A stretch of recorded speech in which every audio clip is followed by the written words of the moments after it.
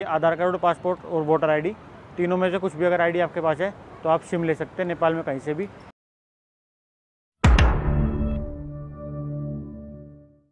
जागो रे, देखो रे, दुनिया ये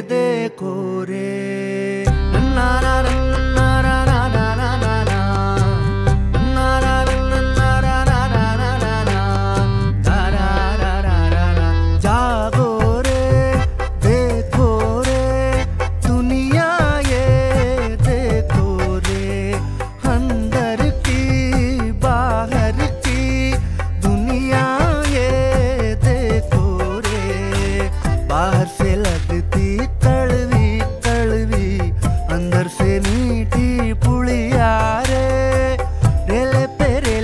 everyone welcome back to my channel मेरा नाम है तरुण मलिक। और फ़िलहाल काठमांडू के अंदर मैं आपको दिखाऊँगा सारी घूमने के लिए चीज़ें क्या क्या यहाँ पे रुकने के लिए है। कल मैं आया था जनकपुर धाम से काठमांडू तो इसके पिछली वीडियो में मैंने आपको दिखाई जनकपुर धाम से काठमांडू की बस जर्नी। और फ़िलहाल मैं हूँ काठमांडू के अंदर, और यहाँ पे मैंने थामेल के अंदर एक होटल लिया हुआ है, जो मैं इस वीडियो के एंड में आपको दिखाऊँगा। फ़िलहाल मैं आज की वीडियो में काठमांडू के अंदर जो जो घूमने के लिए जगह है, जैसे कि दरबार स्क्वायर हो गया पशुपतिनाथ मंदिर हो गया स्वयं स्वयंभू टेंपल हो गया, वो सारी चीज़ें मैं आपको इस वीडियो में दिखाऊँगा। और यहाँ पे लोकल करेंसी कैसे एक्सचेंज करवानी है और नेपाल का सिम कैसे लेना है, वो सारी चीज़ें भी मैं इसी वीडियो में कवर करूँगा। तो फ़िलहाल इस वीडियो को स्टार्ट करते हैं। काठमांडू का फ़र्स्ट इंप्रेशन कैसा है? अभी मैं आया हूँ श्री घा चटिया पे। श्री घा चटिया एक बुद्धिस्ट टेंपल टाइप का है। जहाँ पे मैं आपको दिखाता हूँ, बहुत सारे पैगोडाज बने हुए हैं। और ये डॉक्टर साहब भी मेरे साथ साथ चल रहे हैं। फ़िलहाल ये है श्री घा चटिया पैगोडा जो यहाँ पे बड़े सुंदर बना हुआ है।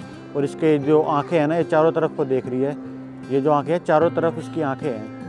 और अब यहाँ से हम चलते हैं थामेल से निकल के हम जाएँगे दरबार स्क्वायर और रास्ते में हमें कहीं सिम कार्ड मिलेगा तो सबसे पहले सिम कार्ड भी लेंगे। सिम कार्ड लेने के बाद हम करेंसी एक्सचेंज भी करवाएँगे और ये भी देखेंगे कि नेपाल के अंदर क्या इंडिया का एटीएम कार्ड काम करता है कि नहीं करता है। तो पूरी डिटेल्ड वीडियो देखने के लिए बने रहिए इस वीडियो में। तक अभी हम यहाँ से चलते हैं दरबार स्क्वायर और मैं आपको दिखाता हूँ दरबार स्क्वायर कैसा है, यहाँ का काठमांडू का। फ़िलहाल ये कुछ काठमांडू की गलियाँ हैं और इन गलियों से होके हम जा रहे हैं यहाँ से दरबार स्क्वायर में और यहाँ पे बहुत ही पुरानी पुरानी वायरिंग हो रही है, पुरानी दिल्ली चांदनी चौक की तरह। तो ऐसा कुछ है ये थामेल का एरिया और यहीं पे थोड़ा आगे जाके 500 मीटर पे दरबार स्क्वायर है। तो अभी यहाँ से हम चल रहे हैं दरबार स्क्वायर पे और आगे जाके मैं दरबार स्क्वायर में दिखाता हूँ आपको कैसे वहाँ पे एंट्री है। शायद वहाँ पे टिकट भी होगा तो वो भी मैं आपको दिखाता हूँ आगे जाने के बाद।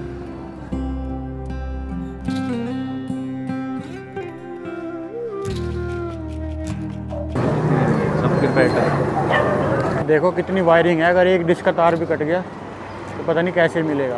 पूरी दूर तक जैसी वायरिंग जा रही है, जैसे अभी तक चांदनी चौक में होगी इंडिया में तो और तो कहीं बची नहीं है।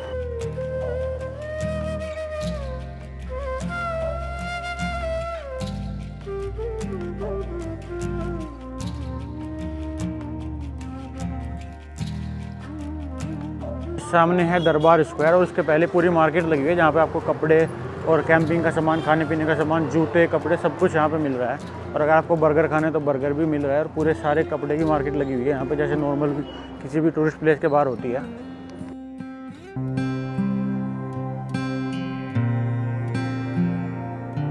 तो अभी मैं दरबार स्क्वायर की एंट्री पे आ चुका हूँ। ये मेरे पीछे दरबार स्क्वायर अभी इसके लिए टिकट लेते हैं और फिर अंदर जाके अंदर से आपको दिखा दूँ कितने सारे यहाँ पे पगोडाज बने हुए हैं। और ये कुछ इसका मेन पगोडा है जहाँ से इसकी एंट्री दिखती है। कितना सुंदर लग रहा है। अभी सूरज के पीछे आने के बाद ये फ़िलहाल इधर से जाके एंट्री लेनी है। और यहाँ पे छोटी छोटी गाड़ियाँ बहुत ज़्यादा चल रही है, मारुति आठ सौ वगैरह। और यहाँ पे ना गाड़ियों के प्राइस बहुत ही ज़्यादा हाई है। एक ऑल्टो भी यहाँ पे तीस तीस लाख रुपए की मिलती है। तो यहाँ पे जो बाइक भी है, वो भी पाँच पाँच छः छः लाख रुपए की मिलती है। जो इंडिया में अपाचे वगैरह, वो वाली बाइक्स भी। तो यहाँ पे बाइक्स ज़्यादा मिलती है, गाड़ियाँ कम मिलती है, क्योंकि चलने के लिए जगह भी बहुत ही ज़्यादा कम है। और ये ओमनी वगैरह वैन घूमती रहती है, बस यहाँ पर छोटे वाली गाड़ी जो भी होती है।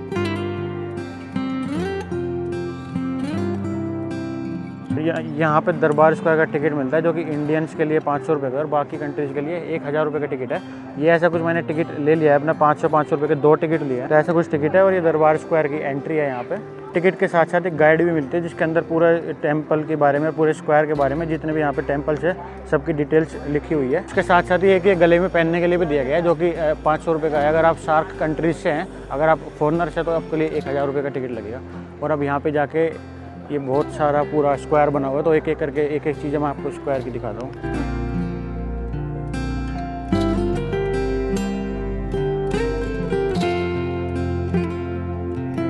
यहाँ पे जब आप एंट्री लेते हो तो बहुत ही बड़ा सा स्टैचू है, काल भैरव का। बहुत ही बड़ा काल भैरव का डिस्ट्रक्टिव स्टैचू बना हुआ है, देखो कितना सुंदर है। तो फ़िलहाल ये पूरा दरबार स्क्वायर है, ये पंद्रहवीं शताब्दी में बनाया गया था।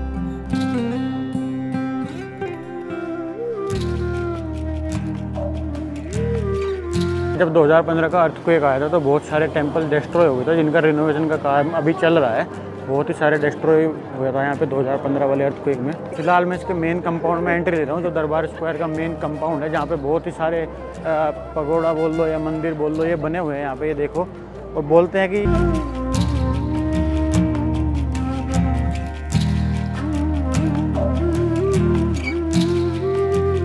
और ये दरबार स्क्वायर जो है, बहुत पुराने टाइम में जब नेपाल में राजा होते थे तो जो नेपाल का मेन एडमिनिस्ट्रेशन ऑफ़िस होता था, वो दरबार स्क्वायर से पूरा नेपाल कंट्रोल होता था। मतलब ये पार्लियामेंट हाउस टाइप का इसको आप बोल सकते हैं। और यहीं पे आपको एक म्यूज़ियम भी बना हुआ है, नया नए डिज़ाइन का। इस म्यूज़ियम के अंदर भी मैं आपको जाकर दिखाऊँगा।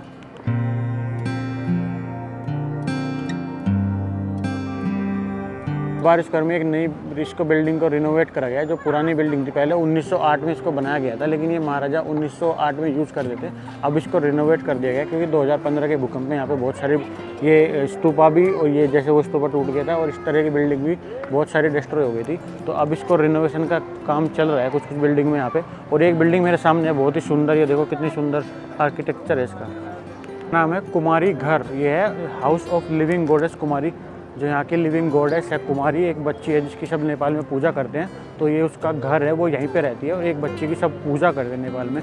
जो अभी मैं स्क्रीन पे दिखा रहा हूँ आपको, वो है कुमारी और उसकी सब, उसी का ये घर है दरबार स्क्वायर के अंदर, जहाँ पे पूरा प्रॉपर दरबार स्क्वायर है और ये पूरा घर उसका है। तो वो लड़की जो है, जिसकी यहाँ पे सब देवी मानते हैं उसको तो उसको लोग कुमारी बोलते हैं और वो यहाँ पर रहती है। और अभी मैं इस कुमारी घर के पीछे आ हूँ, जहाँ पे एक मार्केट भी लगा हुआ है। इस मार्केट में बहुत सारे सोवनियर टाइप के सामान बिक रहे हैं और इसके पीछे दरबार स्क्वायर कुछ पार्ट है जो भूकंप में डेस्ट्रॉय हो गया था, जिसको पिलर लगा के या ये बल्ली लगा के रोका हुआ है, क्योंकि ये भूकंप में बहुत सारी बिल्डिंग्स यहाँ पे टूट गई थी जो मैंने अभी आपको बताया।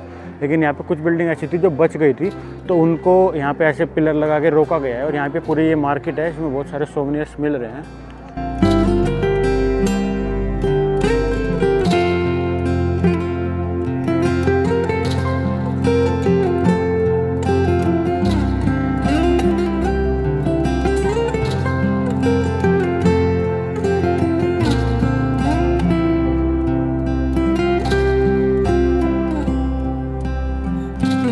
यहाँ पे बहुत ही सारे सोमनियर्स मिल रहे हैं। यहाँ पे आपको फ्रिज मैग्नेट मिल जाएगी, खुकरी मिल जाएगी, ये पीस वाला यंत्र मिल जाएगा। बहुत सारी चीज़ें यहाँ पे, बुद्धा के स्टैचू भी है। और ये लाइन से पूरी मार्केट लगी हुई है, यहीं पे दरबार स्क्वायर के अंदर ही। और यहाँ पे जो भी आपको सोमनियर वगैरह परचेज करना है, वो सब आपको यहीं पर मिलेगा। पूरा मार्केट इसीलिए लगा हुआ है यहाँ पे ये।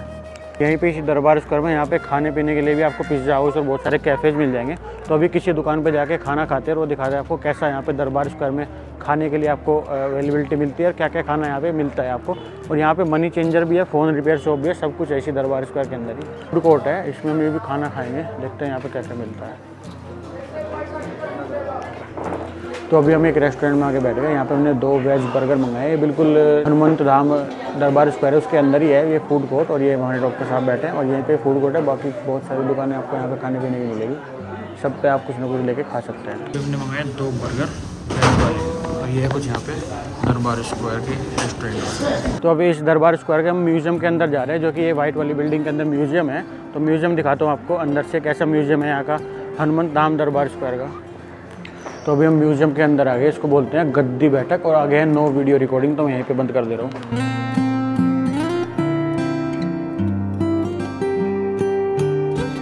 ये ढाल तो तलवार है, देख जैसे तलवार के साथ ढाल हुआ करती ना। यहाँ पे नेपाल की हिस्ट्री लिखी हुई है कि नेपाल का एकीकरण कैसे हुआ था।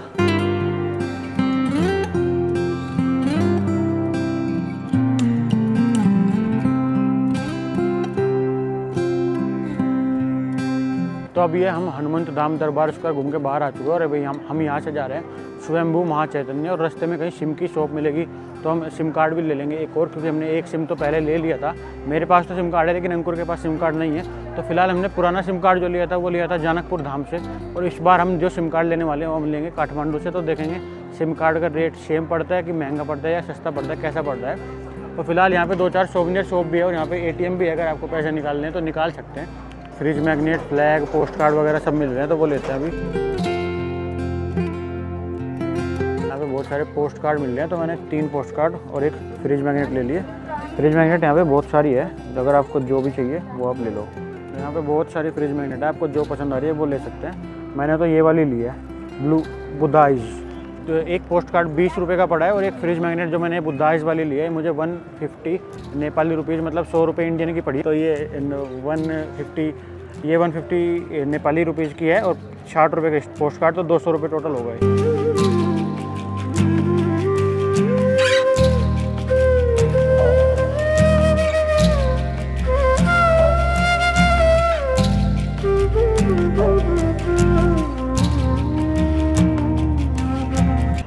तो अभी हम यहाँ के आसन बाज़ार में आ चुके हैं। यहाँ पे कपड़े की दुकानें ज्वेलरी की दुकानें शूज़ की दुकानें और बहुत सारी चीज़ों की दुकानें हैं। तो यहाँ बहुत सारी दुकानों पे आपको दिखाता हूँ कि क्या क्या रेट में यहाँ पे कपड़े वगैरह सब कुछ मिलता है। तो यहाँ पे ज्वेलरी की ज़्यादा दुकान है जिस रोड पे हम चल रहे हैं। ज्वेलरी ज्वेलरी की दुकान है और एक साइड में बाइक ही बाइक खड़ी है पूरी दूर तक। तो अभी हम स्वयंभू टेंपल पैदल ही चल के जा रहे हैं। टैक्सी वाला यहाँ से ले रहा था पाँच सौ नेपाली रुपये लेकिन हम आ, दो किलोमीटर था यहाँ से तो दो किलोमीटर हमने सोचा हम पैदल ही पैदल चले जाएँगे। तो फ़िलहाल इस मार्केट से होते हुए हम दो किलोमीटर पैदल जा रहे हैं। और ये है वाली रोड पे पूरी ज्वेलरी की दुकान है यहाँ पे, क्योंकि गोल्ड का रेट बिल्कुल इंडिया से थोड़ा बहुत सस्ता होगा जहाँ तक मुझे लग रहा है, जितनी दुकानें यहाँ पे ज्वेलरी की हमें दिख रही है, देखो।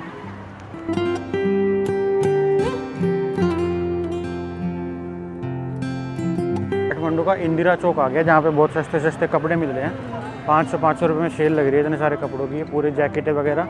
पाँच सौ रुपये छः सौ रुपये ऐसे मिल जा रही है। इंदिरा चौक बोलते हैं इसको, काठमांडू का। तो यहाँ पे पूरी सेल लगी हुई है। ये हर दुकान पे यहाँ पे सेल लगी हुई है लोअर कपड़े टी शर्ट जैसा दिल्ली का पाली का बाज़ार है ऐसा ही ये है यहाँ पे तो बोलते हैं इंदिरा चौक और यहीं पे दो चार मंदिर है पगोड़ा सब कुछ बना हुआ है जहाँ से मैं सुबह आपको दिखाया था ये वाली बिल्डिंग अभी यहाँ से हमें स्वयंभू टेंपल जाना है तो रिक्शा वाले से पूछेंगे। स्वयंभू टेंपल जाना है? कितने रुपये लोगे? वन थाउज़ेंड रुपीज़ तो ये इंदिरा चौक है और हमने अभी रिक्शा वाले से पूछा कि स्वयंभू टेंपल के कितने रुपए लेगा तो वन थाउज़ेंड रुपीज़ उसने बोले, जो कि यहाँ से मात्र डेढ़ किलोमीटर दूर है। ऑटो टैक्सी वाला पूछ रहा था, पाँच सौ रुपये और वो रिक्शा वाला बोल रहा है, एक हज़ार रुपये तो यहाँ पे बिल्कुल टूरिस्ट के लिए लूट मचा रखी है। फ़िलहाल ये वो जैसा मार्केट है, पूरा मार्केट में पीतल पीतल का तांबे का सामान बिक रहा है। और आगे पूरी ज़्यादा भीड़ है, देखो कितनी भीड़ है इस पूरे मार्केट में। यहाँ पे गणेश जी की मूर्ति बनी हुई है बिल्डिंग पे कितनी सुंदर बिल्डिंग है, और नीचे गणेश जी की मूर्ति, और नीचे पूरा मार्केट ऐसे मार्केट से होते हुए पैदल जा रहे हैं हम स्वयंभू टेंपल की तरफ़। और ये 2015 के अर्थक्वेक में बहुत सारे घर ऐसे थे जो टूट कर गिरे नहीं थे, लेकिन उनमें दरारें आ गई थी तो उनको रोकने के लिए यहाँ पे ऐसे ये बल्ली लगा के रोका गया है कि जिससे ये घर गिरे ना। दुकानें अभी भी इसके नीचे चल रही है पूरी प्रॉपर और लेकिन ये बल्ली लगा के रोका गया है, क्योंकि 2015 में जो इसमें यहाँ पे अर्थक्वेक आया था, उसमें बहुत सारी बिल्डिंगें टूट गई थी, और जो नहीं टूटी थी, वो ऐसे बल्ली के सारे रुकी हुई है और जो टूट गई थी, उनका रिनोवेशन कंस्ट्रक्शन ऐसे चल रहा है। अभी ये काठमांडू के अंदर ही घूम रहे हैं। हम किसी मार्केट में। एलिवेशन देखो कितनी तेज़ है, पूरा नीचे को झुक रहा है और अगर चढ़ाई चढ़नी पड़ जाती तो दिक्कत होती।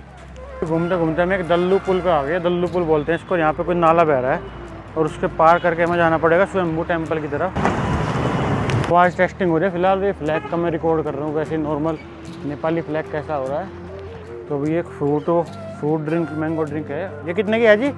पचास की? जो बड़ी है। पचास रुपये नेपाली की है ये। फ्रूटो फ्रूट ड्रिंक तो पचास रुपये नेपाली में एक फ्रूटो फ्रूट ड्रिंक दिए। और ये पच्चीस रुपये नेपाली की है। तो इसको पीते अभी एक लोकल स्टोर से। यहाँ पे है ऊपर स्वयंभू टेंपल तो अभी हम पहुँच चुके हैं स्वयंभू टेंपल पे। और ये मेरे पीछे स्वयंभू टेंपल यहाँ से अगर आपको चढ़ चढ़ के जाना है तो आपको जीना चढ़ के जाना पड़ेगा। तो यहाँ पे हम चढ़ाई तो चढ़ रहे हैं, लेकिन बहुत सारे बंदर है रास्ते में। पता ना कोई हमला ना कर दे, डर लग रहा है। पर चढ़ने से अलग कोई रास्ता भी नहीं है, रुक भी नहीं सकते। रुकेंगे तो और ज़्यादा बंदर आ जाएँगे। तो फ़िलहाल हम ऊपर चढ़े जा रहे हैं, बंदरों से बच बच के। और ये कुछ जीना है, बहुत ही ऊपर जाना पड़ेगा। अब देखते हैं कितनी देर का ट्रैक है अभी।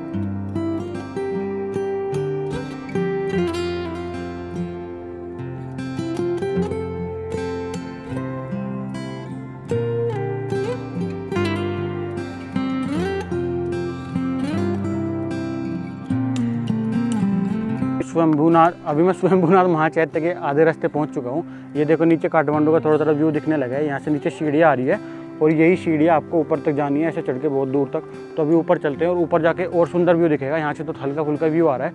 ऊपर जब हम चले जाएँगे तो बहुत ही सुंदर व्यू दिखेगा। चलते सीधे ये वाली सीढ़ियाँ चढ़ के ऊपर।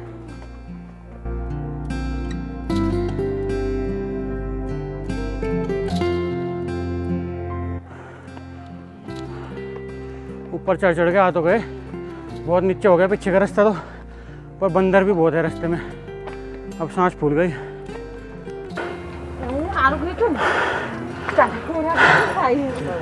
तो आप ऊपर चढ़ते चढ़ते जाएँगे तो रास्ते में आपको टिकट ऑफ़िस मिलेगा इस वाली चढ़ाई पे बीच में और यहीं से आपको पचास रुपये का टिकट लेके तब एंट्री मिलेगी ऊपर। अच्छे से वो पूरी सीढ़ियाँ चढ़ के हम ऊपर आ गए स्वयंभूनाथ मंदिर पे। और ये कुछ ऐसा मंदिर का व्यू है बहुत ही सुंदर व्यू है। और यहाँ पे देखो कितना बड़ा ये त्रिशूल टाइप का रखा हुआ है। ऐसा कुछ है स्वयंभूनाथ मंदिर, अभी इसको चारों तरफ़ से आपको दिखा दो टाइम लैप्स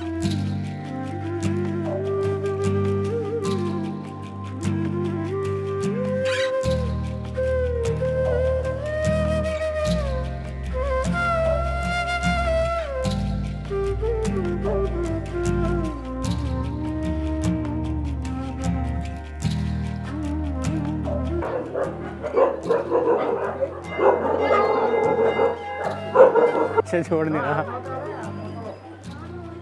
खाने की चीज़ कोई भी लिया छोड़ता नहीं कोई भी यहाँ तो फ़िलहाल ये है कुछ यहाँ पे बुद्धा स्तूपा जो कि तीनों चारों तरफ़ देख रहा है ये। और यहाँ पे बुद्ध जी का टेंपल और ये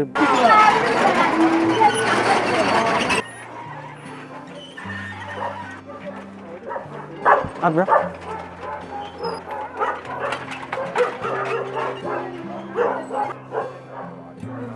और यहाँ पे बहुत सारे छोटे छोटे स्तूपा बने हुए हैं। ऐसे ही इस बौद्ध स्तूपा के बराबर में जो ये पीछे वाला है, ये तीन तरफ़ को देखता है। इसको स्वयं मुँह बौद्धनाथ स्तूपा बोलते हैं। और यहाँ पे सोवनियर मार्केट भी है, खाने पीने के लिए पानी की दुकानें पर यहाँ पे बीच में बहुत ही सारे स्तूपा बने हुए हैं। छोटे छोटे स्तूपा जो वो बहुत पीछे एक बहुत बड़ा है। और ये सारे छोटे छोटे स्तूपा भी बहुत सारे बने हुए हैं यहाँ पे। उसी के ऊपर स्वयंभूनाथ बौद्ध स्तूपा के और यहाँ पे कुत्ते, बंदर बहुत सारे मिलेंगे। और ये देखो कितने सारे स्तूप यहाँ पे बने हुए हैं, कितना सुंदर नज़ारा दिख रहा है। बौद्धनाथ स्तूपा का। पे बहुत सारी सोवेनियर शॉप भी मिल रही है। देखो कितने सारे यहाँ पे फेसेस और ये सोवेनियर के आइटम मिल रहे हैं। और पेंटिंग माउंट एवरेस्ट और ये आसपास के जितने भी मोन्यूमेंट है नेपाल के अंदर, सबकी पेंटिंग यहाँ पर बना के इन्होंने रखी हुई है सेल करने के लिए। तो अगर आपको पेंटिंग भी चाहिए तो आप भी यहाँ से ले सकते हैं। देखो पूरी काठमांडू सिटी का कितना बढ़िया व्यू आ रहा है।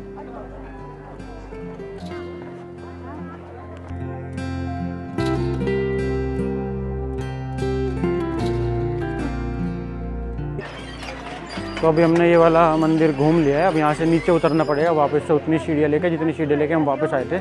तो फ़िलहाल यहाँ से नीचे उतरते हैं, जितनी सीढ़ियाँ थी। ये इसका कुछ मेन सीढ़ी वाला कम वो है, जहाँ से पूरे नीचे उतरना पड़ेगा। अगर हमें नीचे जाना है तो यहीं पर ये रखा हुआ है त्रिशूल। और ये देखो कितनी सारी सीढ़ियाँ उतरनी पड़ेगी यहाँ से, अगर हमें नीचे जाना है तो। तो अभी हम यहाँ से वापस नीचे चल रहे हैं। नीचे उतर के और फिर देखते हैं कहाँ जाना है अगली डेस्टिनेशन पे। फ़िलहाल अभी तो एक सिम कार्ड भी लेना पड़ेगा। अभी हमारे पास सिम कार्ड भी नहीं है। इसको सिम कार्ड भी दिलाना है। चलो भाई नीचे। और यहाँ पे बहुत ही सारे बंदर है, बंदरों से बच बच के जाना पड़ रहा है।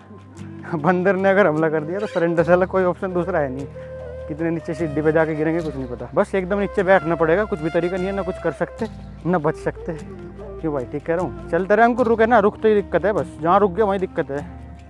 धीरे धीरे चलते रहे। ये देख, बंदर आ गया, हिंदी में बोलते हैं बंदर और नेपाली हूँ ये भाई साहब। हम हैं इंडिया से दिल्ली।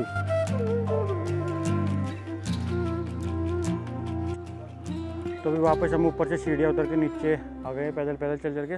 नीचे उतरने में ज़्यादा टाइम नहीं लगा, ऊपर चढ़ने में ज़्यादा टाइम लगा। नीचे उतरने में तो पाँच मिनट लगे हमें मुश्किल से।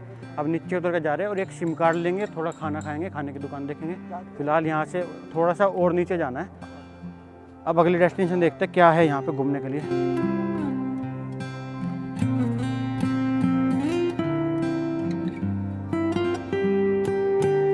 यहाँ से बाहर से टैक्सी देखते हैं, कितने रुपए की मिलती है? पशुपतिनाथ मंदिर की ये दो गाड़ियाँ खड़ी हैं, इनसे पूछते हैं।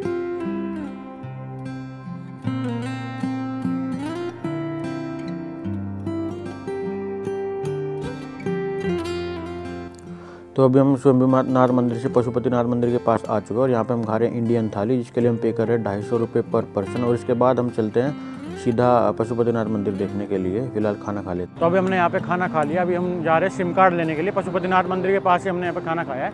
और ये कुछ ऐसा यहाँ का माहौल दिख रहा है पशुपतिनाथ मंदिर का। और यहाँ पे जो शाम को आरती होने वाली है, वो आरती को हम देखने जा रहे हैं। फ़िलहाल अभी सामने एक दुकान पर सिम कार्ड लेना है, वहाँ पर चल रहे हैं पहले। तो अभी यहाँ पर हमने सिम ले लिया।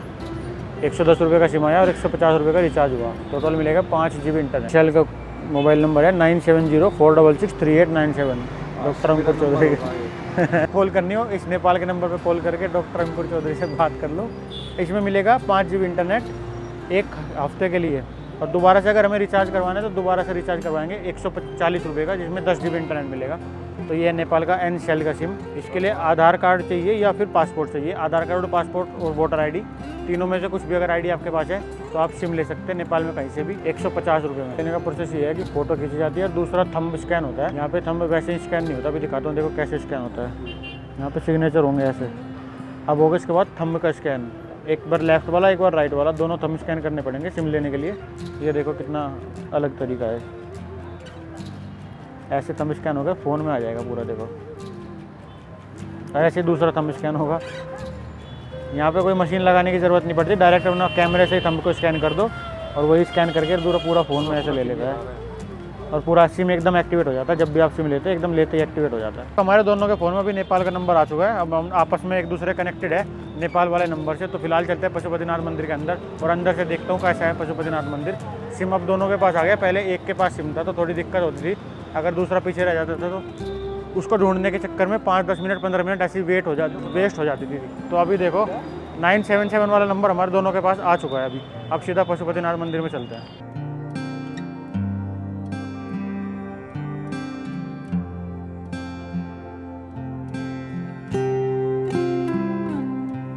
तो अब हमने पशुपतिनाथ मंदिर के अंदर एंट्री ले ली है मेन गेट से, और अभी पैदल पैदल चल के अंदर जा रहे हैं। और यहाँ पे कुछ बाइक वाले भी स्टंट मार रहे हैं। अभी हम पैदल पैदल चल के पशुपतिनाथ मंदिर के अंदर एंट्री ले रहे हैं, और ये कुछ इसकी मेन एंट्री है, जो कि पशुपतिनाथ मंदिर की है। और अभी यहाँ पे आरती होगी तो वो आरती मैं आपको दिखाता हूँ कि कितनी सुंदर यहाँ पे आरती होती है।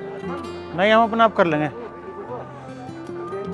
नहीं नहीं, हम भी यहीं का है। तो फ़िलहाल हम मंदिर के अंदर आ गए हैं, और हमने प्रसाद ले लिया है। यहाँ पे पूजा होगी। तो प्रसाद चढ़ा देंगे। यहाँ पे देखो एंट्री पे शिवलिंग है पशुपतिनाथ मंदिर का कंपाउंड है और ये हमने प्रसाद लिया है, अभी पूजा में प्रसाद चढ़ाते हैं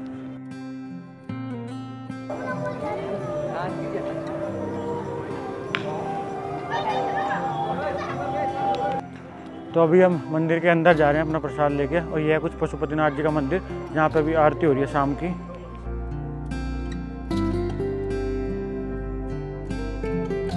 अभी अंदर आरती होती है, अंदर वीडियो अलाउड नहीं है तो हम बाहर ही वीडियो बना रहे हैं। और फिर हम बाहर ही चलते हैं, यहाँ से प्रसाद वरसाद चढ़ा दिया, हमने आरती कर लिया अब बाहर जाके दिखा दूँ बाकी की डिटेल्स बाहर ही बताएँगे कि अंदर पे कैमरा फ़ोटो कुछ भी अलाउड नहीं है यहाँ पे। तो अभी यहाँ पे थोड़ी देर हमने आरती पूजा कर लिया यहाँ से बाहर चलते हैं, थोड़ी देर रेस्ट करते हैं यहाँ पे बैठ के।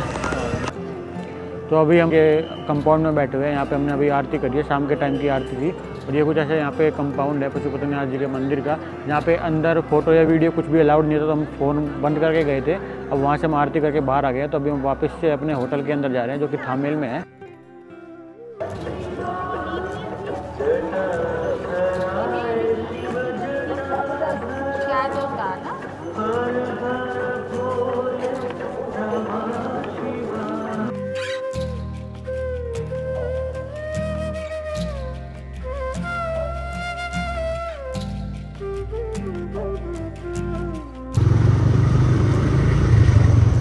अभी होटल रूम में आपको दिखाता हूँ मैंने दो हज़ार रुपये नेपाली में ये होटल बुक करा है। और इसकी वैल्यू थी पंद्रह डॉलर या बारह सौ रुपये इंडियन या दो हज़ार रुपये नेपाली। तो फ़िलहाल ये कुछ ऐसा होटल है, इसके अंदर दो ट्विन बेड मिलते हैं, एक वर्किंग टेबल मिलती है और एक टेबल साइड में बेड साइड टेबल मिलती है। तो दोनों बेड काफ़ी बड़े हैं, बीच में स्पेस भी है और यहाँ पे कोट वोट हैंगर टांगने के लिए सब कुछ है और ये टेबल है और अंदर से बाथरूम भी दिखाता हूँ मैं कैसा है। काफ़ी साफ़ सुथरा सा बाथरूम है। एक ये है हॉट शावर है इसके अंदर और इधर अपनी सिंक वगैरह सब कुछ इसके अंदर मिलती है आपको। और अभी मैं बाहर से व्यू दिखा रहा हूँ, कितना सुंदर व्यू है इसका। ये कुछ इस होटल की बालकनी है, और कितना सामने भी एक और होटल है देखो।